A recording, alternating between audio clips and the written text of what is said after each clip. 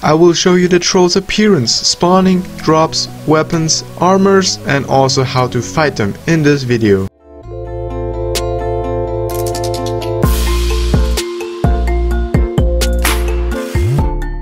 Welcome to another video on the Ice and Fire mod.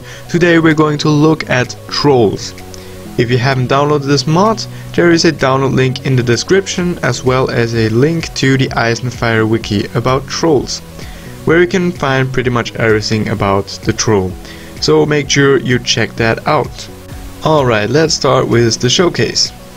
Trolls are beasts that hide in caves and relentlessly attack any explorers looking to mine ores. And first we're going to look at their appearance. Trolls are large monsters with small eyes that glow in the dark, tusks next to their lower jaw, and large nose, as well as a giant weapon in their hand. They come in three different variants. The first one is the forest troll. It has greenish gray skin, has yellow eyes and wears a brown loincloth. The second one is the mountain troll. It has gray skin, has yellow eyes and wears a brown loincloth.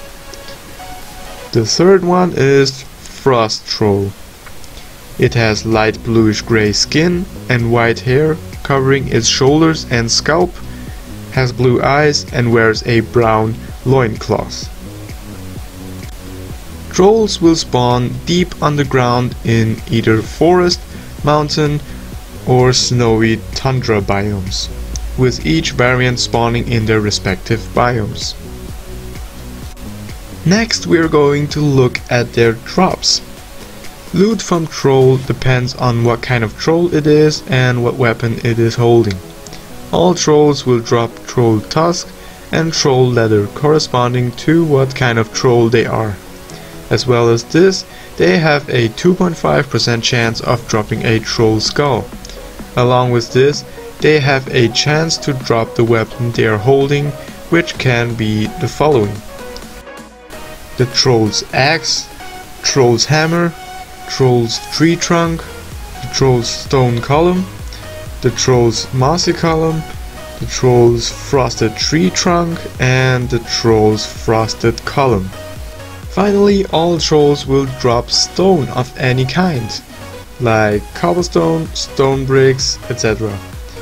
And also sticks and bones, while other minor drops are restricted to some trolls. The forest troll will drop mushrooms and oak wood, the mountain troll will drop emeralds, and frost trolls will drop snowballs, sapphires and spruce wood. Because there are so many different drops and it can get a little confusing, I will display each troll with all its drops right now.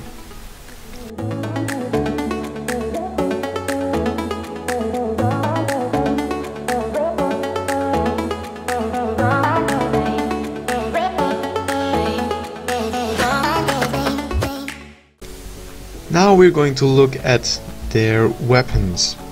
As you can see here, these weapons take a while to reload, but they do a lot of damage. The attack damage is 16, but the attack speed decreases by 3.5. There is no legendary weapon you can craft out of the trolls drops, these weapons are the legendary drops. You can also enchant these weapons. What you can craft out of troll drops are troll armors. There is an armor for every kind of troll, the forest, frost and mountain troll armor. In this light they all kind of look the same but they have slightly different shades as you can see on the right. Finally we have come to the behavior. Trolls are naturally hostile to players and villagers. Once a troll sees its target, it will let out a loud roar and come rushing at the player. When attacking, trolls often strike downwards with their weapon, dealing 5 hearts of damage with each hit. They are also known to do a sideways swipe with their weapon, dealing massive knockback to their prey. If a troll encounters an unavoidable obstacle while chasing down a target, it will smash the obstacle to bits with its weapon. And with the troll's thick hide, it makes arrows useless against it. If a troll is exposed to direct sunlight, it will turn to stone, like any mob with the Gorgon curse. A stone troll statue can be broken with a pickaxe and delivers 2 to 5 pieces of cobblestone once broken. Due to this, trolls will never leave caves or any shady areas during the day. And here comes the important part, the combat.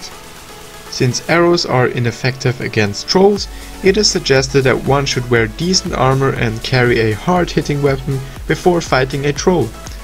The best way to take on a troll is to lure it out of a cave during the night and sprint away from its strike, run back to land a hit on it, and repeat until it dies. What you also can do is use a shield to block its strikes. Alternatively, one can let the troll chase them around until the sun rises and watch it turn to stone.